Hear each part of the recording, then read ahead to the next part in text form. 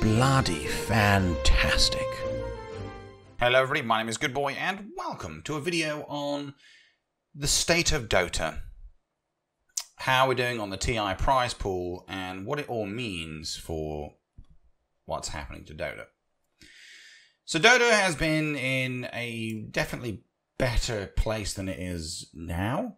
Um, it's been a pretty much depressing crash down since about 2016. So the last two years, um, Dota in February 2016, Dota had about 709,000 or so average players per month, uh, and that has steadily declined down from 600 to 500 about a year later, and then now in 2018 it's reached its all-time low in April 2018 this year of 430,000 unique players. So getting on for nearly half of what it used to be.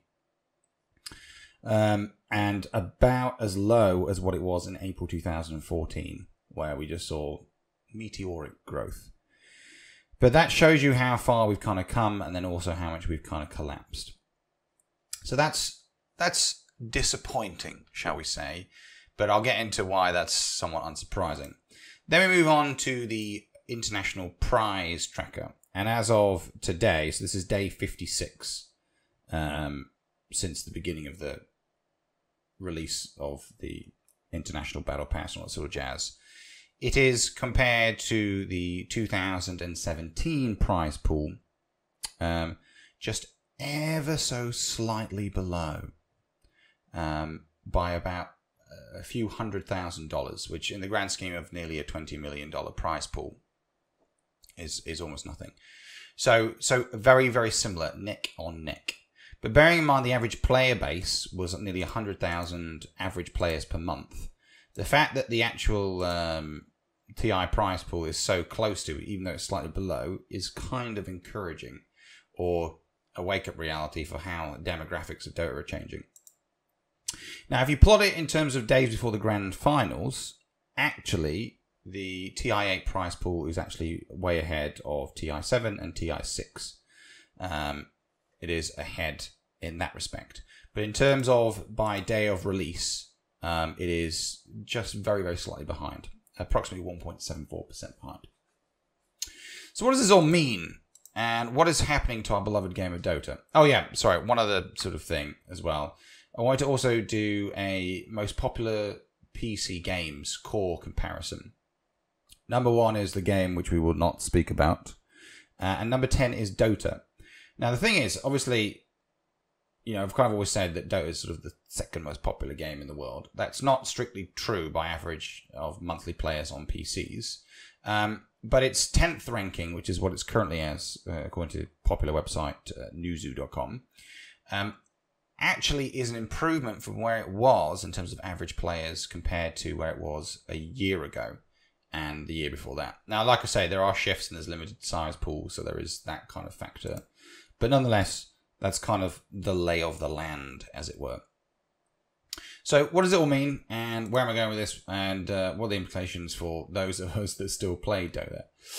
Um, so, first off, with the whole decline in player base, it does appear to have stabilized. I want to say so. This year, I want to say it's sort of it reached its peak low round about April and has steadily been gaining since. Um, and even prior to the, the Battle Pass release, although it's kind of succinct actually with the Battle Pass release, um, there was a bit of an upward tick again, and people are reinvigorated as the biggest sporting event, esports event of the year starts to come to life. So in that respect, it's positive. In terms of the game crashing much further, I don't think we're going to necessarily see that. I think we've kind of reached the point where, all right, guys, enough is enough. So I'm predicting more of a stable, flatlined sort of place for Dota. But the thing that's interesting is that even though there's less players, there's the same, if not more money. So what's happened? And I'll tell you what's happened. We've all got older. the average age of the Dota player has gone up. And so the earning power of each individual Dota player on average is increasing every single year. We're not in a recession. That's another big one as well. That's quite helpful. And we have positive economic growth ahead of us. So actually, while Dota as itself is kind of, you know, going into decline, sadly, actually the player base, even though it's slightly shrunk from last year, they are slightly richer, so it cancels itself out. The other thing, as well as, of course, is the Battle Pass is an awesome set of prizes, and it makes Dota quite fun. One would almost think it'd be a good idea to have a continuous Battle Pass. People can continually do quests for, so that people are continually drawn to the game, like the brilliant ideas that Blizzard have. To get people hooked on games like Hearthstone. But anyway, whatever. We can go through this. There's there's a there's a there's a pr- problem with the model that makes that difficult. But ah, we won't get into that. So that's kind of happened there, and uh, and it's it's interesting as well because the future for esports is very very promising in the sense that um, the amount of money getting poured into it is going to become higher and higher and higher. And even though people don't take Dota, or there are less people taking Dota as seriously, they're still going to want the really cool loot because they used to play the game and it's still really awesome and fun. Plus, you never really truly leave Dota, do you? You know, let's let's face facts. You know, no one really quits Dota properly. You might have spells where you don't play it, but you know, it's it's kind of what's that. I suppose the most challenging thing about this whole thing is, well, hold on a second there. Then why is Dota declining? What's what's gone wrong? So the first one is the emergence of more popular games. So, for example, if you look at the most played PC games right now, after the first one, which is the name we will not mention, you know the one.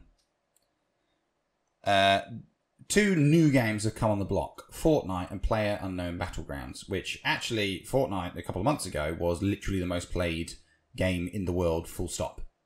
Um, everyone was playing it, literally, no no exceptions. And then Player Unknown's Battlegrounds, PUBG, came out last year. I got hooked, did some videos, people unsubscribed, you know, standard drill. Um, so those two new games have kind of come in as well. Other games are still seeing very solid player bases, like CS:GO, like Overwatch. Uh, World of Warcraft has actually seen a little bit of resurgence as well. So other games are being competitive and are very, very good. Blizzard, I would say, are probably the most compelling at getting you to continue to play their games. So um, very, very smart approach business models that I'm seeing that we don't really see as much with Valve doing, unfortunately. I wish they did, but they don't, and there's reasons for that. The second issue, and I'm sorry to be the one that kind of continually says this, is that unfortunately Dota is extremely hostile towards new players. And it's hostile towards new players for different reasons. The first reason that it's hostile towards new players is actually just because that's how Dota is. People play easy games. Like when you when you got like the average gamer who's like, yeah, I went around and shot some stuff and then died. Yeah, cool. Then to go into the extreme complexity of Dota and why it's like a massive deal if you've got AIs who are able to replicate the success of Dota. It's it's huge because it's just such a hard game.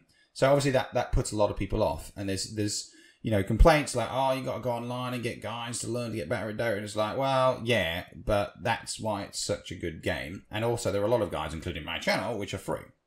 So there is that. And then, of course, there is the old salts issue. Now, like I say, funny enough, older players in Dota, people who are in their 30s, for example, like myself, um, actually tend to be less ragey and less tilty. Not always, and I'm guilty of this myself. But generally, new players aren't getting into it. Uh, which is a big, big, big problem for us. And Valve have tried to address it, but all they did really when they tried to address it was screw over the existing player base instead of, you know, whatever. So there is still the interface issues with Dota and, you know, all that kind of jazz. I think Valve also don't really massively promote Dota. There's not enough aggressive advertising. Riot Games, on the other hand, aggressively promote League of Legends all the time. And I'm embarrassed to say, and I can't control this, by the way, without fully demonetizing my channel, even League of Legends videos have come up on my channel. I've yet to see a Dota one. I'm not saying it doesn't happen, but I don't think there is any active advertising campaigns. So there's your first problem. Second one is like, why?